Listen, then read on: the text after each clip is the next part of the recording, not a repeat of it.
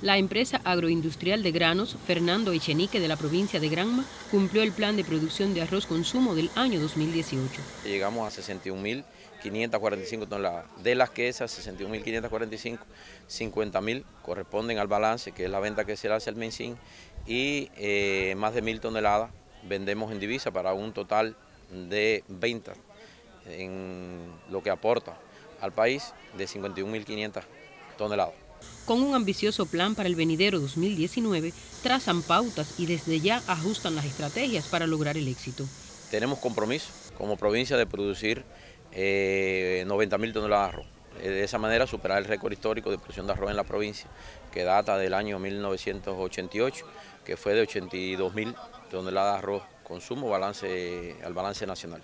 El empeño de los arroceros, unido a la modernización de la tecnología, fueron razones suficientes para alcanzar las metas propuestas.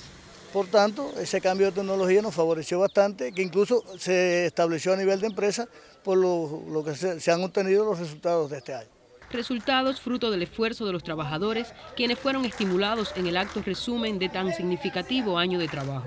Se ubica la provincia de Granma con un aporte al balance nacional del 25% de la producción del cereal más demandado por la población cubana. Elena Lienz, en directo.